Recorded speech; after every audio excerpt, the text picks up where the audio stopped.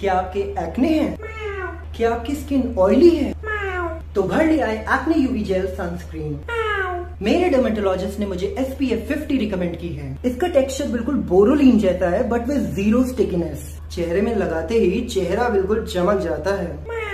It is of very good quality 100% percent non comedogenic है और oil free भी है। तो आपके पोर्स को ये बिल्कुल क्लॉग नहीं करेगा। लिंक आपको डिस्क्रिप्शन बॉक्स में मिल जाएगी।